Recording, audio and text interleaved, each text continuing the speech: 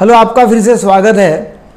Somatisation disorder के treatment के बारे में मैं आज आपसे बात करने वाला हूँ। शारीरिक दुर्दशा का इलाज। ये बीमारी होती क्या है? बीमारी में होता है कि बार बार बार बार लक्षण दिखाई देते हैं। शरीर के अनेक हिस्सों में लक्षण दिखाई देते हैं। और वो बदलते हुए लक्षण है। कभी इधर दर्द, कभी उधर दर्द, कभी ये प्रॉब्लम कभी वो प्रॉब्लम कभी पीठ दर्द, कभी फ्रंट दर्द, कभी बैक दर्द, कुछ भी होते जाएगा और फिर उनको अनेक सालों से ये रहते हैं।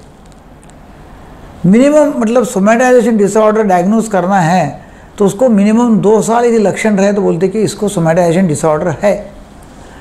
इसमें क्या होता है कि काफ़ी इलाज करने के बाद में भी इसमें फ़ायदा होता नहीं। बहुत सारे डॉक्टर ढूंढते रहते हैं, बहुत सारी बड़ी बड़ी फाइल्स रहती है। महिलाओं में, आबादी में पॉइंट टू से लेकर टू परसेंट तक ये बीमारी होती रहती पॉइंट टू से लेके दो टका।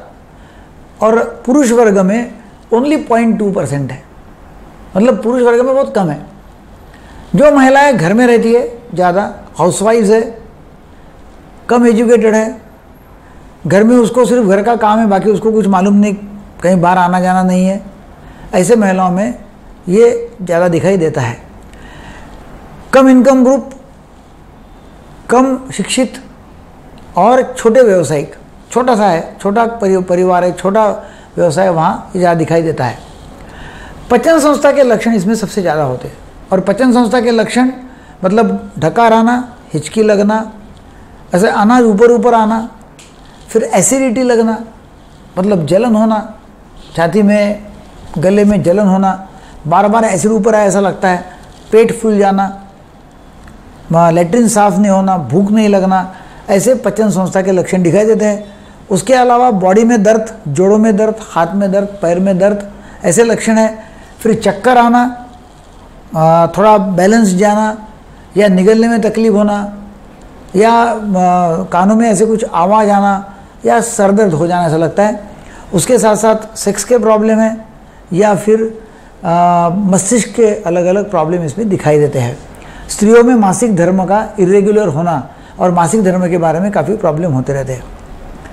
अब ये बीमारी का इलाज क्या है? मेन बात तो वो है।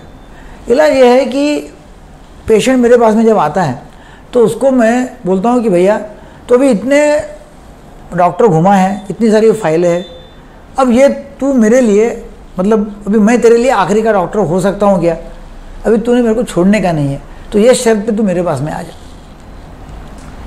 उसके साथ में मैं अच्छे रैपो तैयार करता हूँ। रैपो तैयार करना मतलब उसके साथ में मिलजुल जाना, घुल जाना, उसके क्या विचार है, उसकी क्या नीड है, उसको क्या इंटरेस्ट का है, उसको क्या कंसर्न है, उसके क्या एक्सपेक्टेशंस है, उसके बारे में उसके साथ में बातचीत करना और सिर्फ़ सुनना। सिर्फ़ सुनने का है, कुछ बोलने का नहीं है। जब बोलते रहता है तो काफ़ी सारा ज्ञान हमको होता है उसके जीवन के बारे में कि भाई वहाँ कहाँ अटका है वो?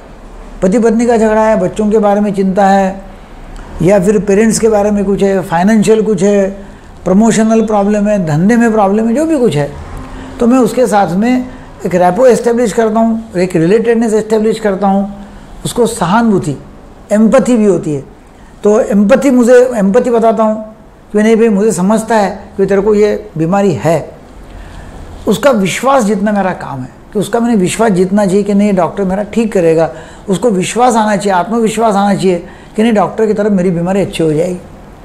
मुझे उसको बोलना पड़ेगा और मैं बोलता हूँ कि भाई, तेरे को सोमेटाइजेशन डिसऑर्डर नाम की बीमारी है और ये साइकेट्रिक इलनेस है। इसमें सब जाँच आपने करके देखे हुए, तभी कोई भी शारीरिक बीमारी आपको दिखी नहीं है। शरीर के कोई हिस्से में कुछ पकड़ा नहीं गया है। सब जाँच करने के बाद में कुछ मिला नहीं है। तो आपको ये शारीरिक बीमारी नहीं है, मानसिक बीमारी शारीरिक रूप से बाहर आई हुई है, ये मुझे उसको बताने का है। उसका एजुकेशन करना बहुत ज़रूरी है और जब थोड़ा बहुत उसको फ़ायदा दिखता है, मेरी दवाई से या मेरे साइकोथेरेपी से तो उसका मैंने प्रेस करना चाहिए, उसको मैंने प्रशंसा करना चाहिए उसकी कि चलो बहुत अच्छा हो रहा है। एंटी डिप्रेसेंट जो है वो दवाई काफ़ी लोगों में काम में आती है एंटी डिप्रेसेंट जिससे डिप्रेशन उसके साथ साथ रहा तो वो ठीक तो हो ही जाता है। और वैसा सोमेटाइजेशन डिसऑर्डर भी एंटी डिप्रेशन दे के काफ़ी मात्रा में अच्छा हो सकता है। तो ऐसे लोग हैं कि जिनको ये बीमारी है, उनको तो ये वीडियो का फ़ायदा होगा, जिनको नहीं है मतलब उनको भी फ़ायदा होगा क्योंकि वो स्प्रेड कर सकेंगे मालूम हो जाएगा, कभी आगे होती तो उसके बारे में उनको जानकारी मिलेगी। तो वीडियो ज़्यादा से ज़्यादा लोगों को शेयर करो और आप सब्सक्राइब करो लाइक करो और बेल आइकॉन आता है उसके ऊपर क्लिक करो ताकि मेरे वीडियो की नोटिफिकेशन आपको सबसे पहली बार आ जाएँगे। हमारा जो मकसद है वो सबके लिए मानसिक स्वास्थ्य और व्यसन मुक्त भारत ये है। उसमें आपका हाथ लग जाएगा। Thank you very much for watching